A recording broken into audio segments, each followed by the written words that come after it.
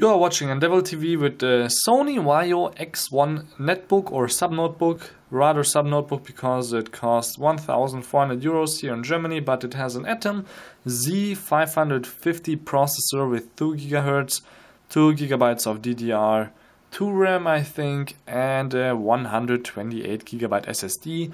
Display is 11.1 inch and it weighs around 760 grams, so 1.5 pounds which is really not that much for a netbook that is lasting around three to four and a half hours depending on what you're doing. Right now I'm in heavy work mode so three hours with wireless and almost a maximum brightness is pretty good. So this is the Sony Vaio X1 and I'm going to demonstrate some multimedia testing to you now starting off with a YouTube trailer Inception, which I already tried in the German video before, but see for yourself. So 480p in almost full resolution, which is actually 1366 times 768, works pretty good. 360p of course also, which is even actually smoother than this. This is already not the fastest. The fan is already blowing really fast because playing flash video isn't that easy for most computers which is the reason why Apple doesn't like Adobe and doesn't allow flash on most of their devices. This is 720p now which you can see is really stuttering, not that fast and once I switch to 1080p it's going to be actually um, a pain in the yeah you know what? So rather stay with 360p or 480p on YouTube but it's playable. So let's show you some regular websites like the newyorktimes.com so you see how this nice um, big screen looks like. I already zoomed in a little bit so you don't have that big of a border here on the side and it's clearly visible, readable. Let me zoom in a little bit, then you can see better. And if we go on a post article, then you can see that once the letters become even bigger, it's actually really nice and view readable. So let's close this up and let me show you some regular AVI movie. This is Eureka and let me skip a little bit. And as you can see, um, you have no borders at all, which is really nice. Um, then let me show you from the side how the color changes on this display, which is really, really good as you can see. It's almost the same from the side, but as you can see, it's a little bit glossy, but not too much.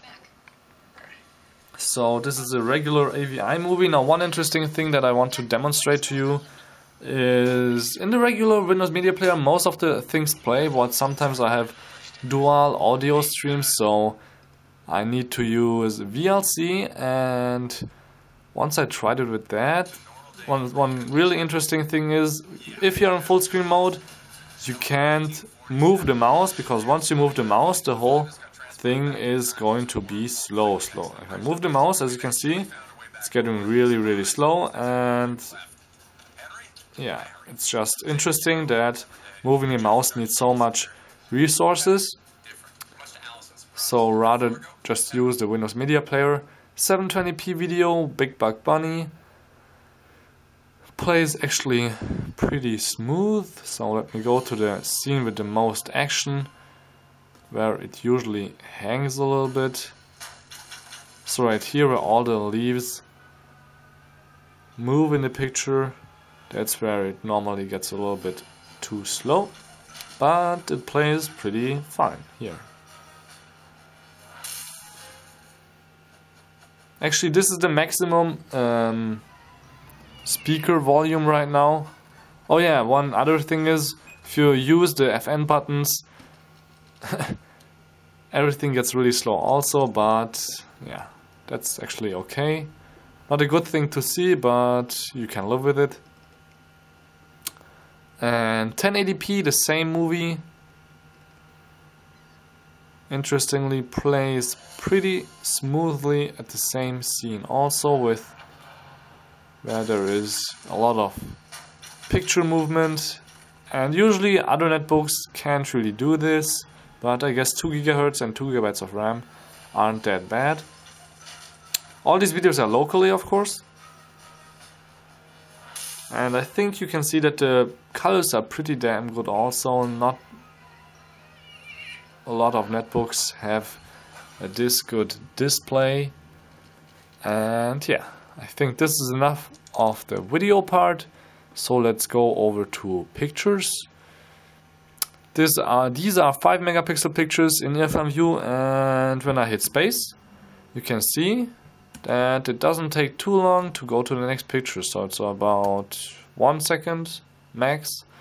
So this is good. Then Photoshop CS4 loads up pretty quick also but um, the computer has a lot of work to do because I can hear the fan blowing. Maybe you can hear it too, but I will show you later around the device and let you hear it when we start up Counter-Strike in a bit. The German video didn't work, but maybe this time it will load. So let me cut out a piece, insert it again. If I move it around you can see not that fast, but again this is a 5 megapixel picture, so there's a lot of small pixels. Um, and if I want to smudge it, then you will see if I go do this, the netbook has to calculate really a lot, so it takes a few seconds till this is finished. So I rather only tell you to remove some red eyes or any smaller works to do with Photoshop, but you shouldn't do shouldn't use it for too much. So yeah, this was Photoshop CS4. Don't want to save this. And while starting up Counter-Strike, as I said, I'm going to show you around the device. So this is the nice keyboard, which is really good to type on. Let me zoom out a little bit. And on the top we have a wireless switch which allows you to control Bluetooth, wireless, LAN, BG and N and um, a 3G card which is inside then we have scrolling here on the side on the touchpad and the touchpad is really good, really responsive. And the touch buttons, mouse buttons are really good also. Then we have three LEDs here on the bottom for HDD or SSD um, speed or workload, wireless of course, and if the battery is charging. On the side we have a VGA LAN port which is not gigabit, only 1000 Mbit on the front there is a, there are two card readers actually for SD and Sony memory sticks. And on the other side there is a headphone jack, two USBs, one of them has my mouse right now plugged in, then Kensington. Power and on the side here you can actually hear already the fan which is right here, there. And as you can hear it's a bit blowing and it's getting warm here on the right bottom side also because that's where the processor is. But you can still use it because it's not that bad. And yeah, actually on the bottom, I didn't show you the bottom, there is a really big battery in the front. And the whole device, as I said, is really, really light and the display doesn't move too easily and yeah, it feels really, really good. So let's start a new game. We have a resolution of um, 640 times 180 right now here. And the last time I tried on the German version, yeah, it got an error message like this and it didn't work. Unable to load authentication. So yeah, Counter-Strike doesn't work still and this was actually it from my multimedia testing of the Sony Vaio X1 um, for other tests like these on other netbooks check out nDevil TV on YouTube. Then I have ndevil.com which is actually a German netbook website.